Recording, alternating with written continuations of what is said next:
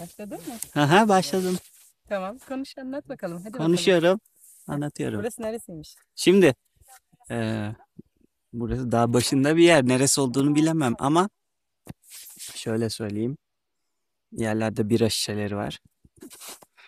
Peki abi burası tam olarak neresi oluyor Atilla abi? Burası Taşkent'in Alanya yol ayrımı. Yukarıda. kulağına şey yaz. Festikan Böyle. yaylası. Hı? Ne? Festikan yaylası. Feslikan Yaylası. Eslikan Yaylası'ndaymış arkadaşlar. Kıyı Ege ekibi kıyı kıyı geziyor diyeyim ben size. Gene Nerede? Ha? Kimlerle geziyorsun? kimlerle geziyoruz? Bolay Yaylası'ymış. Bolay. Bolay Yaylası. Bolay Yaylası.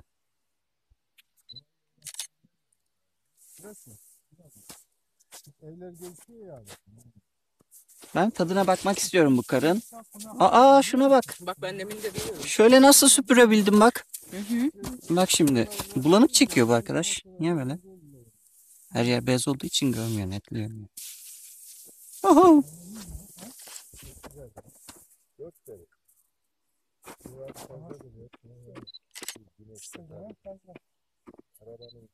Oo, çok soğuk. Ya sıcaktan yanar benim sevgilim ya soğuktan. Çok soğuk ama önce fark etmiyorsun. Yer misin? Yerim. Ha?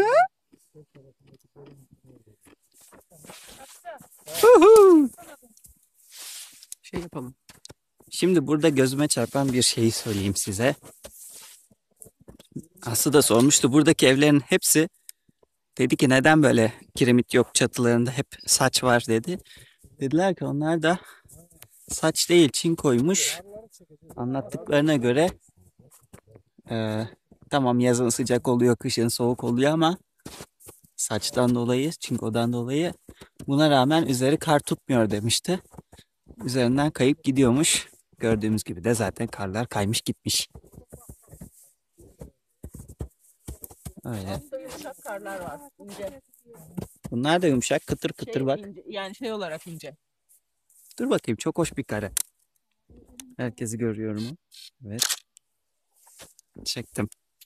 Şimdi Taşkent'ten çıktık geldik. Taşkent'te eee, orası. nerenin son bıçak? Pirler Pirler Kondu'nun son bıçakçısı eee, bıçak ustalarına uğradık. Oradan iki tane bıçak aldık. Biri çak, biri bıçak. Ve nereden nereye onların bir selamını götürmek üzere küçük bir görev edindik kendimize. Nereye götürecektik hatırlıyor musun? Yeni Şükran Oteli Kemeraltı İzmir. Evet. Gel, Oradaki eee, bıçak ustasının amcası olurmuş.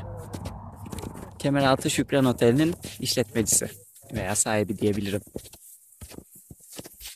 Şimdilik fotoğraf çeksin. şimdilik kaydı durduruyorum.